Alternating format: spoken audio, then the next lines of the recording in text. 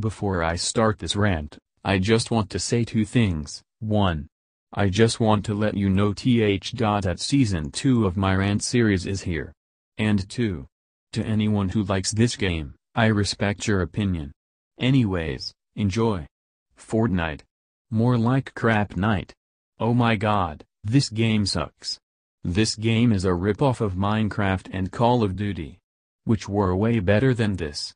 I will show you my least favorite skins, Jonesy is so gay, he looks like he wants to marry a man. Even thought I try to not be disrespectful to people who are gay. Peely is annoying. He is a ripoff of Banana from Peanut Butter Jelly Time song.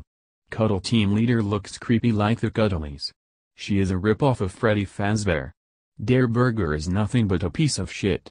He's an insult to other burgers from my favorite restaurant. And so V Apologies has gone to Marshmello who had to appear in this abomination. Do you know what's worse? It's a fan base.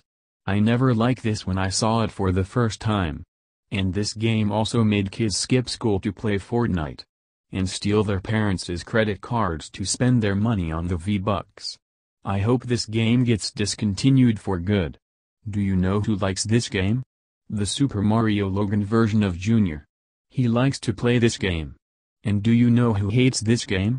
Laporte 124. He made a rant on this game. So screw Fortnite. And screw Action 52 for the Nintendo Entertainment System. Call of Duty Black Ops 4 is 737,338 times better than Fortnite. End of rant.